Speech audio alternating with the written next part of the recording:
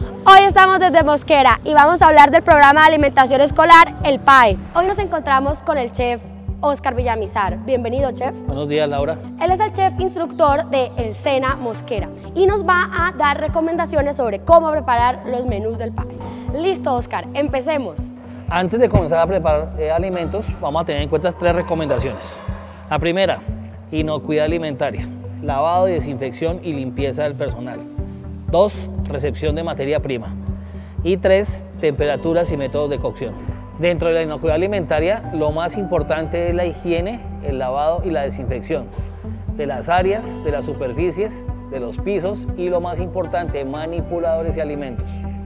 Lo primero, lavado de manos. Para el lavado de manos debemos tener en cuenta el siguiente protocolo y los siguientes elementos.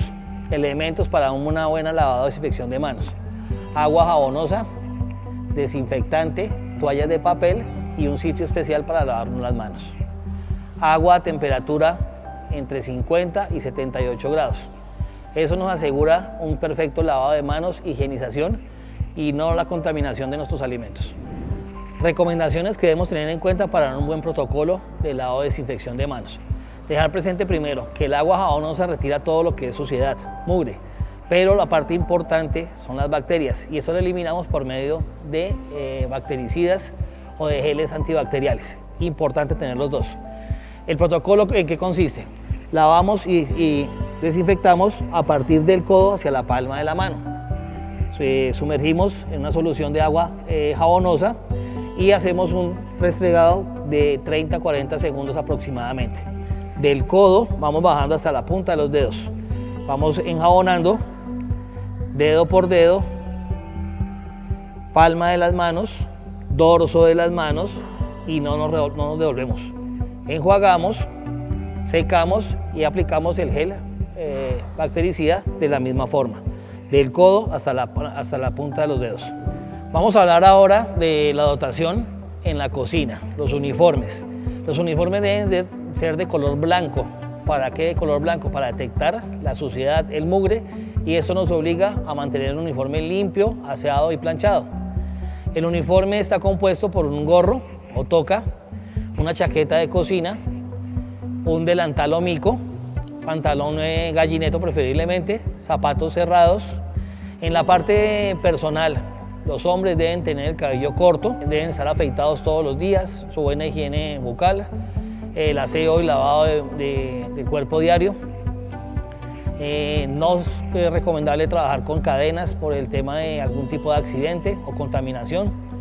Deben manejar siempre su uniforme impecable, planchado, y no lo deben traer desde la calle. Es una recomendación que quiero hacer bastante eh, especial, eh, debido a que si venimos con uniforme en la calle presentamos contaminación en ese momento ya. El uniforme lo traemos en un maletín, lavadito, planchado y debemos tener un área específica para poder cambiar y guardar nuestros elementos personales. Recordemos que las uñas deben estar limpias, cortas y sin esmalte. Además, mujeres, no podemos estar manipulando alimentos maquilladas con anillos, con cadenas y con aretes. Todo esto, recordemos que lo hacemos por nuestros niños. En la preparación de alimentos debemos tener en cuenta los siguientes riesgos, físicos, químicos y biológicos. Físicos, presencia de elementos extraños o cuerpos extraños en los alimentos, papel, cabello, anillos y todos los elementos que no corresponden a un alimento. Eh, riesgo químico, cuando tenemos presencia o los alimentos tienen contacto con eh, fungicidas, pesticidas, elementos de aseo, se consideran riesgos de tipo químico. Y riesgos microbianos, los más peligrosos, los que no se ven pero están presentes en toda parte, en el agua, en la superficie, en los manipuladores, que debemos tratar de eliminarlos de la siguiente forma. Primero, lavar. Lavar es retirar toda la suciedad y mugre que está presente en las superficies en los manipuladores y en los alimentos. Yo lavo con una solución de agua jabonosa y enjuago, pero viene la parte más importante, la de desinfectar, que de pronto no tenemos el conocimiento, no lo hacemos de la forma adecuada. Yo tengo tres elementos, tres químicos permitidos eh, para la desinfección de alimentos, que es el yodo, que es el cloro y es el amonio cuaternario. Generalmente lavamos eh, y desinfectamos con cloro, con, pero también eh, tenemos una mala información que la desinfección la puedo realizar con vinagre o con limón. quiero resaltar que el vinagre y el limón simplemente son saborizantes en la cocina, no desinfectantes. Insisto y reitero, para la desinfección debo trabajar cloro, yodo y amonio cuaternario. Pero si no lo hago en las concentraciones adecuadas, también se me vuelve un eh, peligro o un riesgo de tipo químico. Entonces yo no es simplemente colocar el, el yodo o el cloro en todas las cantidades que digo. Se llaman concentraciones a las partes por millón que debo tener una solución de agua y de desinfectante. La forma más sencillita para no complicar a las personas manipuladoras de alimentos es simplemente tener una jeringa, tomar como referencia siempre un litro de agua y voy a colocar la concentración. Si yo digo 20 partes por millón, estoy haciendo referencia que a un litro de agua le voy a colocar 2 centímetros cúbicos de desinfectante, sea cloro, sea yodo o sea amonio cuaternario. Es importante cambiar cada 15 días o periódicamente por un tiempo prudencial el tipo de desinfectante para que las bacterias no se vuelvan inmunes a esto. Entonces, simplemente 2 centímetros mido con mi jeringa a un litro de agua y tengo una concentración para desinfectar superficies. La concentración es importante. Eh, elementos como las superficies lo manejamos como 20 partes por millón. En este caso haríamos un litro de agua por 2 centímetros cúbicos de desinfectante, cloro, yodo o amonio cuaternario. Pero si va a desinfectar pisos, que son algo que eh, está más contaminado, debo aumentar la concentración. El proceso de lavado de desinfección se hace de la siguiente forma. Primero, agua jabonosa. El agua jabonosa retiramos toda la suciedad, mugre y partículas de grasa que se encuentran en las superficies, en los utensilios y en los alimentos. Dos, enjuagar. Vamos a enjuagar con paño absorbente, agua limpia y retiramos el jabón que está en la superficie. Y por último, la desinfección. Por aspersión, paño limpio, lavable. Y de esta forma tenemos nuestras superficies aptas para la manipulación y preparación de alimentos. Lavado y desinfección de utensilios. Importante ponerle mucha atención a la parte de lavado y desinfección de utensilios principalmente a las tablas donde picamos todos los alimentos. El proceso se hace de la siguiente forma: agua jabonosa, cepillo de cerdas duras y vamos a restregar toda la superficie. ¿Con qué finalidad hacemos esto? Para eliminar todos los mohos y los hongos que proliferan por la cantidad de humedad que absorben las tablas de, de picado. Todo absolutamente se debe lavar.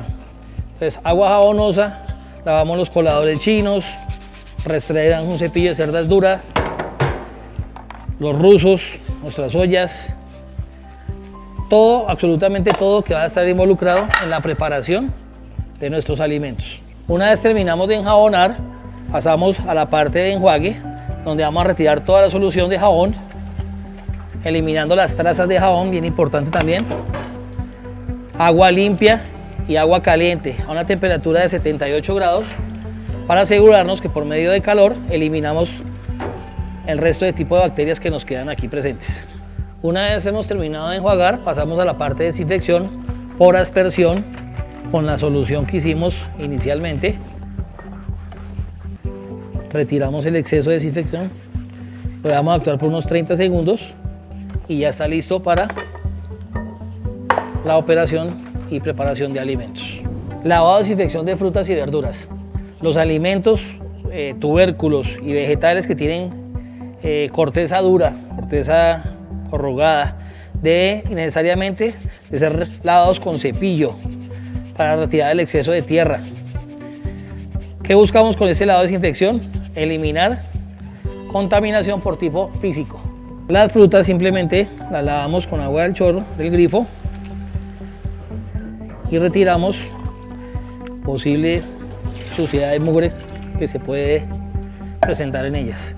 Las frutas por aspersión rociamos con una solución sanitizante de 5 partes por millón, las dejamos actuar por 30 segundos y enjuagamos.